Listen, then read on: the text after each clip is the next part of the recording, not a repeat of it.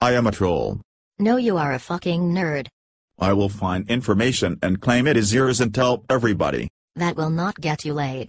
You really hurt my feelings. Don't be such a vagina.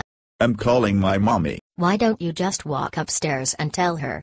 She is going to kick your ass for wasting her minutes. Mommy mommy mommy. What is. This mean girl hurt my feelings. Go back to the basement you vagina. Why is everybody so mean to me?